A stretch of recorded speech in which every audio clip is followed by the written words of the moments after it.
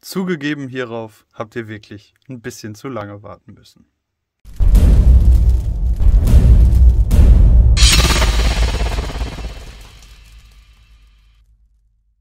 Hallo und herzlich willkommen hier bei The Knife Pub und zu einer Vorstellung, auf die ich mich wahnsinnig freue.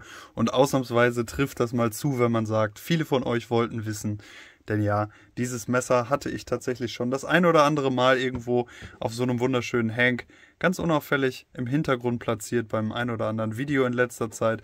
Und tatsächlich haben einige von euch gefragt, was das denn ist. Und heute lüfte ich endgültig das Geheimnis, das ich aber hier und da schon mal in einem YouTube-Short-Video angeteasert habe. Ich stelle euch heute mein allererstes Messer von Heidi Blacksmith vor.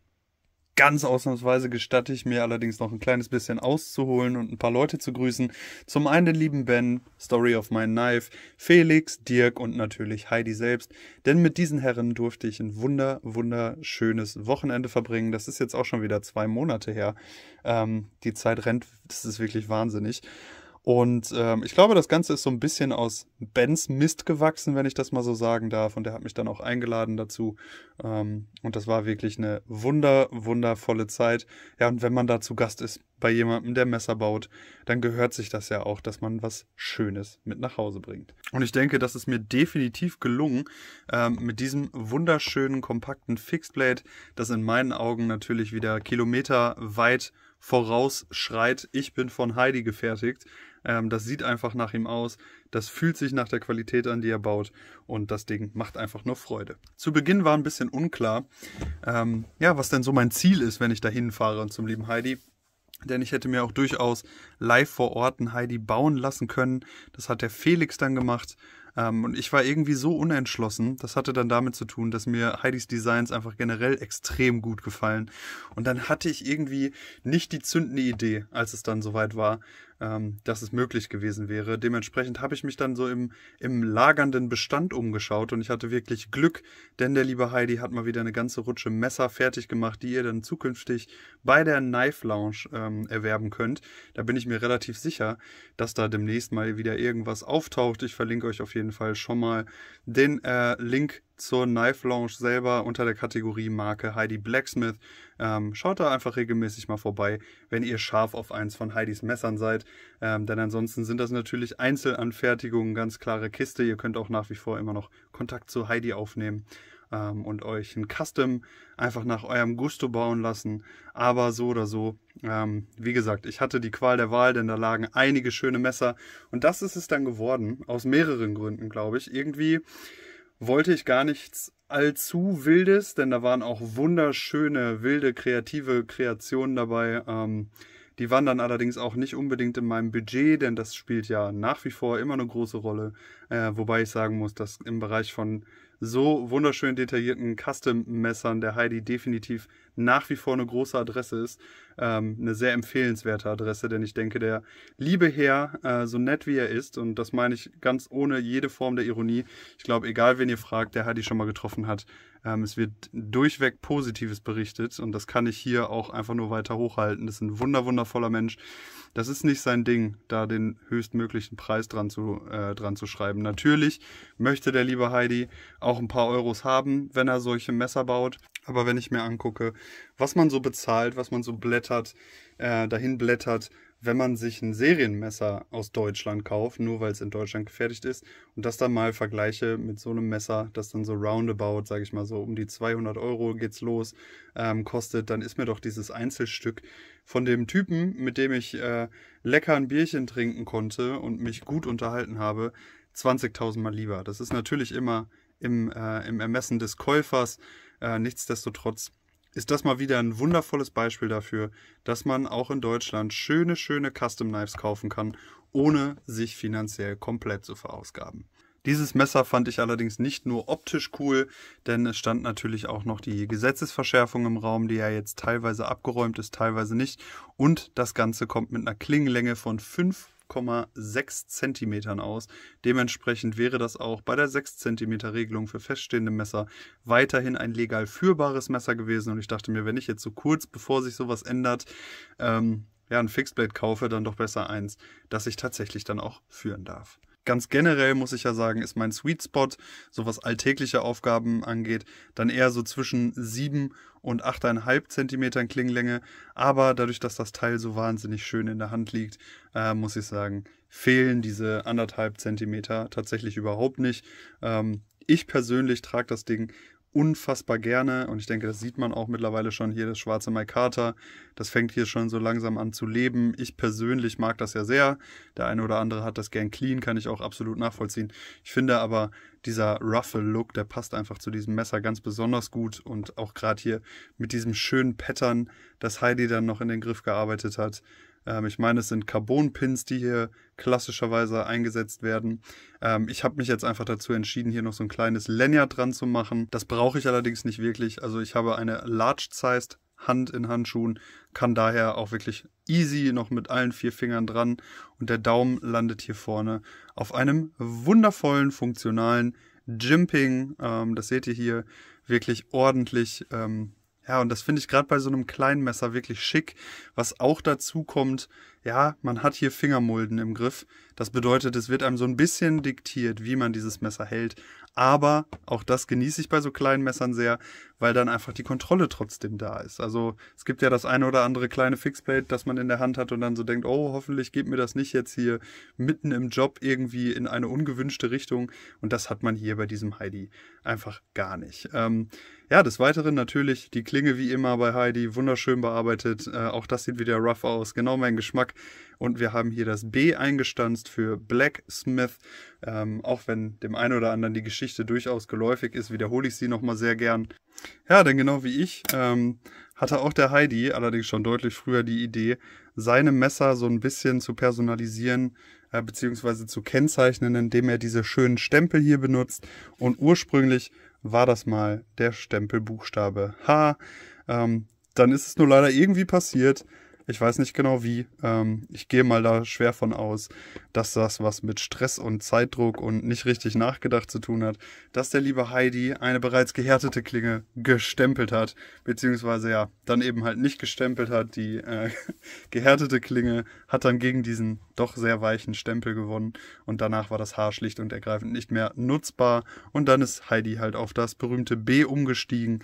Deshalb liebevoll ähm, gibt er jetzt nur noch B-Ware raus. Natürlich wäre es jetzt ein leichtes gewesen, sich einfach einen neuen Stempelsatz zu kaufen und das Haar weiter zu nutzen, aber ich finde, das beschreibt einfach so gut, wie Heidi ist, dass er dann auf das B umgestiegen ist und dass ihm das ja vollkommen Schnuppe war. Und ähm, ja, auch das hat sich ja mittlerweile seit einigen, einigen Jahren wirklich mehr als etabliert und ist bekannt in der Szene. Ähm, ich liebe es sehr. Das Ganze kommt hier mit einer schönen kleinen Kydex, die wirklich dafür ausgelegt ist, das Ding einfach so in die Hosentasche zu schmeißen. Ähm, natürlich hast du hier Nieten, das sind allerdings etwas kleinere als gewöhnlich. Ähm, das heißt, du musst hier wirklich gucken, je nachdem, was du dran schmeißen möchtest, ob das Ganze überhaupt passt. Ich glaube, die sind vom Durchmesser einfach etwas geringer als bei anderen Modellen. So oder so, ähm, ein Messer mit dieser Profil- Ne, also mit diesem Profilblick hier auf den Rücken geschaut, das ist für mich prädestiniert, um einfach so in der Hosentasche zu landen. Und das tut's auch immer und immer wieder. Die Kydex ist vernünftig, äh, die macht der Heidi auch dann jedes Mal direkt selber. Ähm, eine kleine Daumenrampe gibt's leider nicht, dafür allerdings hier mehr oder minder so ein, ja, so ein Mini-Abstand der dann, wenn auch ungeplant, ziemlich gut als Daumenrampe fungiert. Ähm, man muss ein bisschen vorsichtig sein, wenn man es noch nicht weiß. Man sollte nicht zwangsläufig den Zeigefinger hier vorn hinlegen und dann das Messer einfach rausreißen. Ähm, das ist dem Ben Peterson, glaube ich, passiert auf der Knife, weil diese, äh, ja, diese Biegung der Kydex hier nochmal ist. Da muss man ein bisschen aufpassen. Ich glaube, er ist dann hier mit dem Zeigefinger so ein bisschen hängen geblieben und hat sich die Klinge dann hier mal so ganz ein bisschen wirklich nur zu Gemüte geführt. Ähm, das sollte man einfach wissen. Ähm, aber wenn man das weiß, dann ist es vollkommen egal. Also ich persönlich, wie gesagt, nutze hier diese kleine Ecke, um die Kydex dann so ähm, ja, zu öffnen. Gar kein Problem. Liebe ich sehr, ist ein kleines Detail, auf das man einfach achten sollte. Und apropos kleine Details, der Heidi hat sich's nicht nehmen lassen, äh, während Ben, Felix, Dirk und ich da irgendwo ein Bierchen getrunken haben und irgendeinen Quatsch erzählt haben, hier nochmal so kleine Pridies zu bauen, also kleine Heidi Pry Bars Ähm, ich denke, das war mal wieder eine klassische Wortschöpfung vom lieben Ben. Ähm, Pridey passt einfach perfekt. Was auch perfekt passt jetzt bei mir natürlich auf jeden Fall. Ich glaube allerdings auch bei dem Messer, das Felix sich hat bauen lassen, ist das Pattern, was der Heidi da drauf gezaubert hat. Das geht natürlich Hand in Hand hier mit diesem wunderschönen Mike Carter Griff an meinem Messer. Ähm, generell ein super, super cooles Ding und nochmal, das hat der Heidi mal ebenso nebenher gezaubert und dann gleich drei Stück. Einfach Wahnsinn. Die Gesamtlänge des Messers liegt dann irgendwo so bei 14,5 Zentimetern. Zum Vergleich hier nochmal zwei andere kleine Fixed, die ich auch sehr gerne getragen habe, beziehungsweise noch trage. Zum einen hier oben das Giant Mouse GMF 1F und unten das CRKT Minimalist. Und daran hat mich das auch so ein bisschen erinnert. Natürlich in deutlich hochwertiger, aber ihr seht schon so ein paar gewisse Ähnlichkeiten. Grooves in den Fingermulden, eine Klinge, äh, die eine ähnliche Größe hat. Erinnert meinte ich jetzt auch in dem Sinne wirklich nicht als irgendwie designtechnische Erinnerung, sondern einfach so vom Feeling, dass dieses Messer ausstrahlt. Und dann kommt das Ganze für mich persönlich persönlich natürlich noch deutlich hochwertiger, qualitativ schöner und detailfreudiger daher. Dass diese beiden wunderschönen Tools, also die Pridey und auch das Messer jetzt natürlich oft im Partner äh, Look durch die Gegend reisen, das könnt ihr euch schon denken. Kombinierbar ist das natürlich aufgrund seiner schlichten Farbgebung mit unendlich vielen Sachen. Das kann Herbst, das kann Winter. Aufgrund der, äh, ja, der Maße und dem geringen Gewicht kann das Ding allerdings auch Sommer in kurzer Hose. Das ist ein Allrounder. Ich freue mich jetzt schon drauf, das die nächsten Jahre altern zu sehen und ich bin schon sehr gespannt, wie das Teil in zehn Jahren aussieht. So oder so bin ich begeistert von dem Teil. Lass du mich mal gerne wissen, was du davon hältst.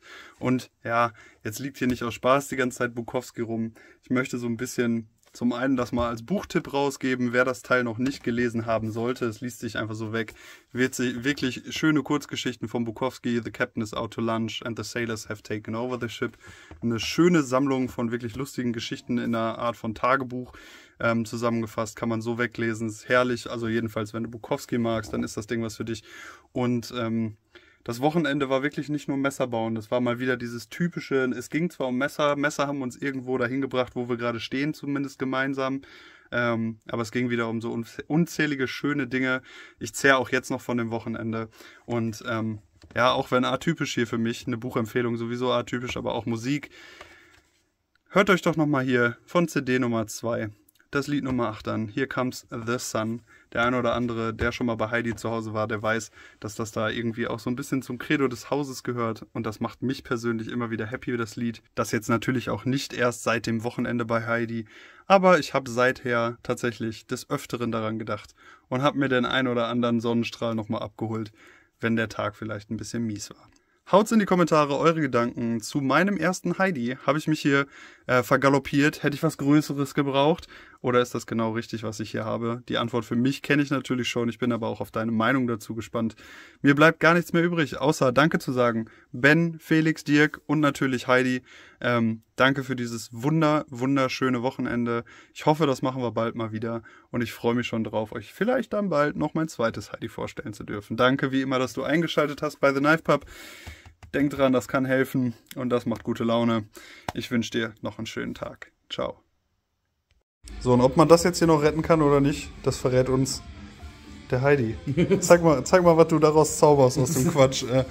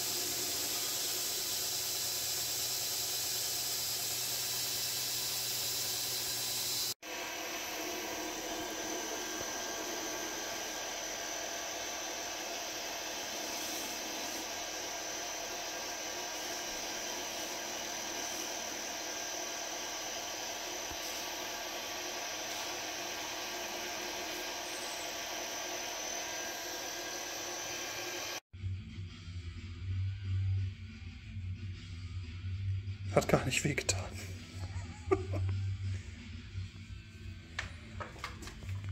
so schnell kann man gar nicht filmen, wie der Heidi hier so ein Messer rettet. Da das ein äh, 1095er Carbonstahl ist, zack, einfach bruniert. Ähm, das sieht irgendwie so aus, als wäre das genauso außer Werkhalle gefallen. Danke, Heidi.